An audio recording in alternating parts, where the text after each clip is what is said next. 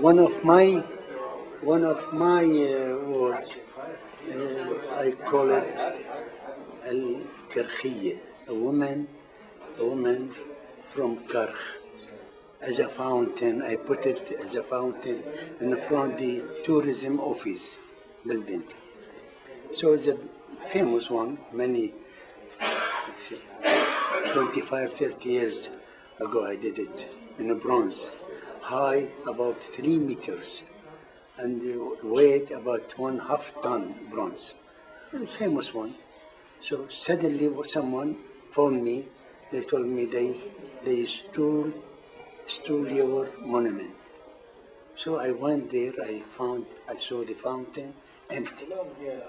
Empty. There is no uh, the figures. There is no that woman. So I look in the earth. I found all the oil. This mean there is some machine or ma- lorry and, and they crane because very heavy. You would have to have a crane to take something that heavy. Yes, because uh, they, they stole it. I mean, they don't uh, they destroyed it. They stole it.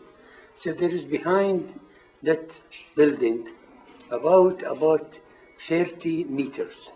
There is car armato, what they call the Tank. the babe. Armed, armed car, armored car.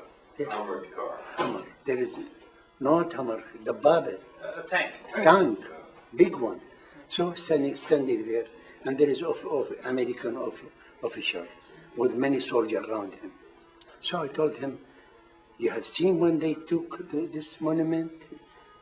Of course, you have. All, all the day you are there, all the night you are there."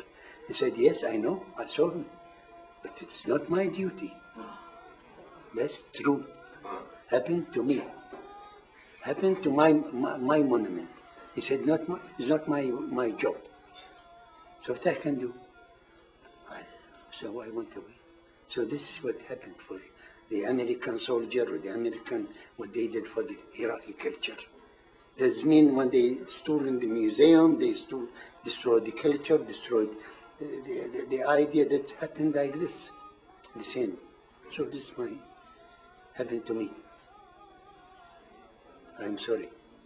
I'm sorry. Sorry. You know, we're, we're ashamed. Uh, ashamed. so, but uh, in, in the future, I will do another monument, and my student, they do another sculpture. Iraq will return back stronger. I am sure about this. I feel so. I, this Iraq is a culture of thousands of years. The others they think to destroy it, never destroyed. Iraq never destroyed. And Baghdad remain Baghdad the capital of the culture in all Arabs country, on, on the world. I think so. And I believe so.